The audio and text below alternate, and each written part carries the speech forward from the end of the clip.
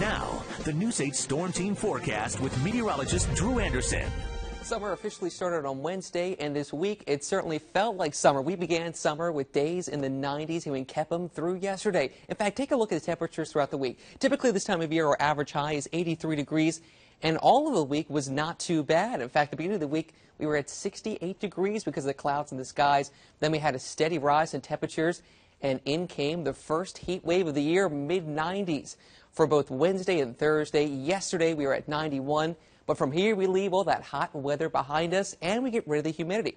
In the background, the News 8 Storm Team forecast, we have Paradise Township. That's where they're celebrating the 300th anniversary of the township today at the Paradise Park. Lots of family events going on starting around 3 o'clock later today.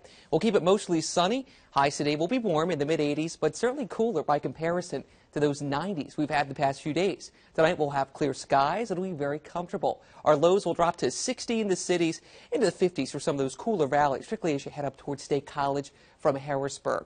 For morning sunshine on Sunday, we will turn the page into afternoon clouds. In fact, those clouds will start increasing starting around 2 o'clock in the afternoon. We'll keep it warm throughout the day with highs in the mid 80s. In fact, our temperature's up about 2 more degrees because our airflow will come from the southwest where some warmer weather sits. And yesterday, particularly toward the afternoon, we have a few isolated thunderstorms and showers. Some of them did bring some heavy rain to a few spots in the Susquehanna Valley, primarily to the south and to the east of Harrisburg was where some of those storms were at. About two inches of rain from one quick storm, right where some of the county lines meet between Dauphin County, York County, and Lancaster County, and southern York County and southern Lancaster County both got some heavy rain at points. Here's exactly how much rain we got at all the airports across the Susquehanna Valley just over an inch and a quarter at Harrisburg. Other spots, not a whole lot. So far this year, we are running above average for rainfall.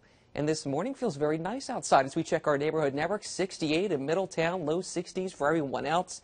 The big factor this morning when you step outside, you don't notice the humidity. There's a little dampness left in the air, particularly in the spots that got some of that rain. Some of those spots did have some patchy fog last night. But from here, we will watch these numbers drop. These are our dew points. That's our measure for how uncomfortable the air feels.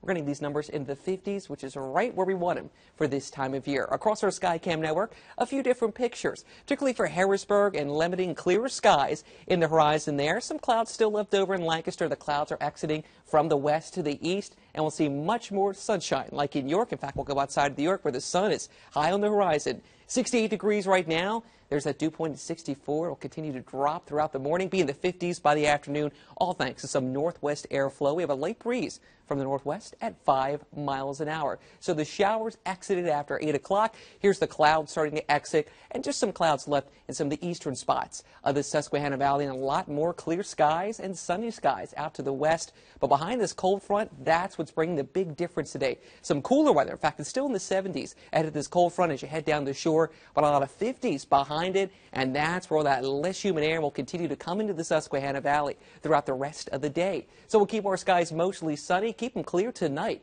as we head into the night and tomorrow morning. I'll stop predictor around 9. Still sunny skies. It's all thanks to high pressure that will be passing by the Susquehanna Valley today, but it does move off the coast on Sunday. And as it does move off the coast, we'll get some clouds to increase for the afternoon. Here's about 2.30.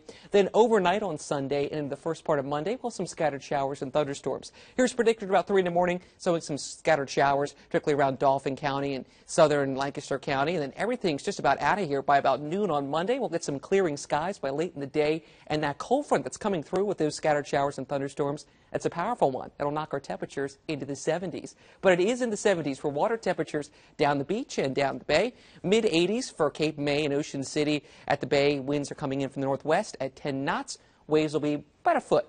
So here's the seven day forecast. Still warm this weekend, but definitely cooler compared to those 90s. 76 on Monday with some thunderstorms. We'll keep it in the 70s. Keep all that humidity away for most of the week. Then we'll get our numbers back up to more seasonal levels by the end of the work week. Looks fabulous. Yeah, what a change that'll oh, be. yeah, that is nice. All right. Thank you, Joe.